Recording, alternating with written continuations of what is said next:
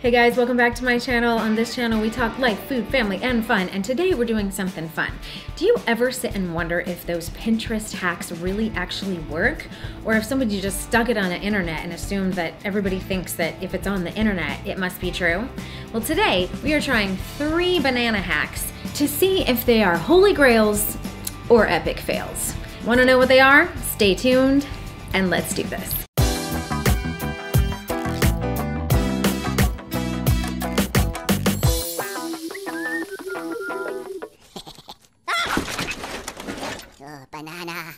Okay, so my kids are off of school for the winter break, and so I'm trying to find some things for them to do. And I thought, hey, these are my little monkeys. Monkeys like bananas. Let's just find out if there's some banana hacks online. So we scoured the internet, and there's one where um, you use a banana peel to whiten your teeth. I don't know about that one. But we wanted to test ones that were immediate. So we've picked three and here they are. The first one is wrapping the ends of your bunch of bananas to keep them from ripening too quickly and giving them a little bit longer shelf life in your kitchen. Let's go see if it works.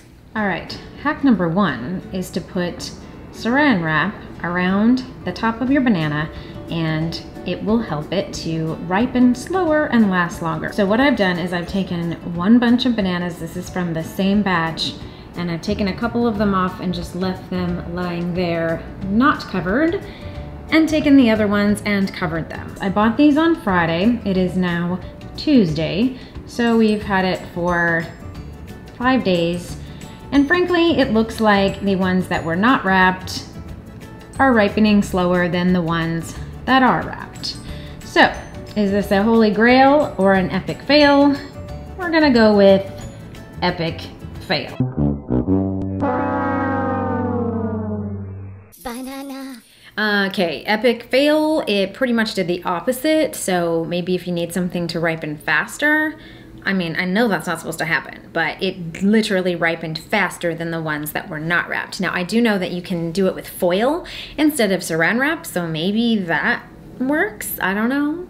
If you've tried that before and that works, leave me a comment below and uh, tell me if it actually works. On to hack number two. So far, we have our first strike, three strikes, and we are out. So, hack number two is if you don't have eggs, or you're vegan, and you don't eat eggs, or you're allergic to eggs, or you hate eggs. Who eats eggs? If you hate eggs and you want to make cookies, you can use a half a banana for every egg that is required in the recipe. So I decided to do peanut butter cookies because I figured if I'm putting in a banana and there's gonna be some banana flavor in there, you might wanna pick some cookies that are compatible with banana. Like if you did a snickerdoodle and you used a banana instead of an egg, Hmm, I don't know about that, but let's see if the peanut butter ones work. Okay, hack number two is if you don't have an egg but you want to make cookies, use a half of a banana in place of the egg and your cookies will turn out perfect. So we decided to do peanut butter cookies because if it has a little bit of banana flavor in there, peanut butter and banana go hand in hand. So I've got my half a banana in place of an egg. I am using a peanut butter recipe from livewellbakeoften.com and I'm doing exactly her recipe except for no egg, half a banana. So I'm gonna mix all these ingredients up, cook them up, and then we're gonna taste them and see if they're any good. Banana? Tell me Ooh, they're warm. what do you think.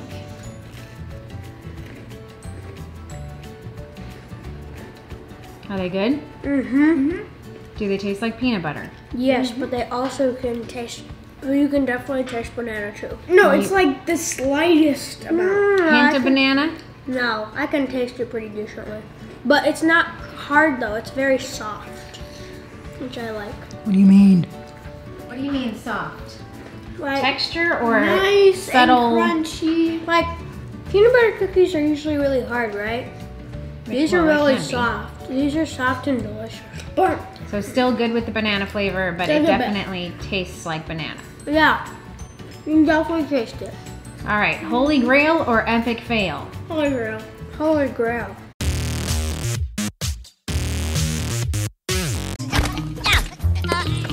All right, I don't know if it's a holy grail. Maybe it's a half holy grail, like it's a grail or just a holy, but it definitely works. But like I suspected, definitely has banana flavor. Now, it kind of tasted like a peanut butter banana bread in a cookie form, which I'm not mad about. But it definitely has banana flavor. So if you've got a banana chocolate chip or banana peanut butter or something that tastes good with bananas, this hack works. So we are 50-50 now. On to number three, what's the tiebreaker? There's just nothing worse than when your kids are sitting on the couch eating those banana peanut butter cookies, enjoying their favorite DVD, when all of a sudden it starts scratching.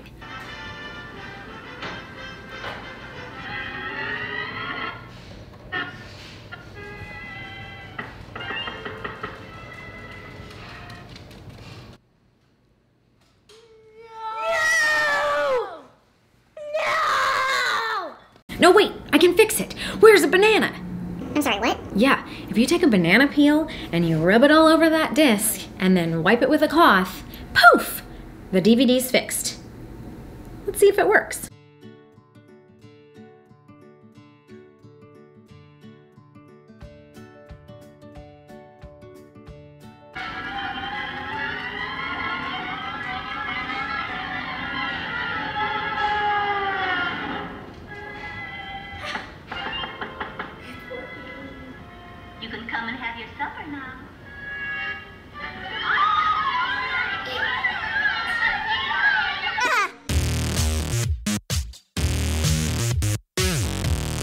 Oh my gosh, you guys, totally worked. And it was scratched. I mean, I showed you the before and the after, same footage. You just didn't see it all in the before because it scratched and stopped. But it totally worked. I mean, who sat around one day thinking, Oh my gosh, my DVD is scratched. Maybe if I rub a banana on it, it'll fix it. who thinks of this stuff? But I gotta say, it worked. All right, so two for three. We didn't strike out. I call that a win. I hope you enjoyed this video and learned something new about bananas and Pinterest hacks and that not everything on the internet is true. But some things are. And that's why we try this stuff. It's all for you. Otherwise, I hope you're having a great day. Stay inspired to rub some bananas on stuff, like your teeth and DVDs. Just don't do it using the same banana. That's kind of gross. But stay inspired, and I'll see you in the next video. See ya!